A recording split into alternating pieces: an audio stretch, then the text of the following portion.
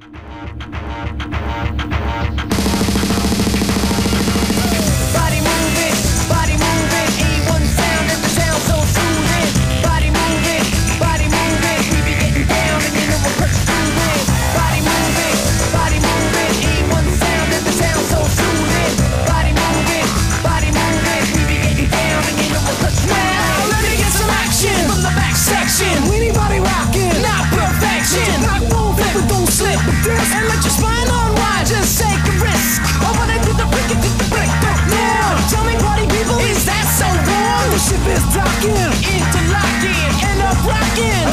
shocking.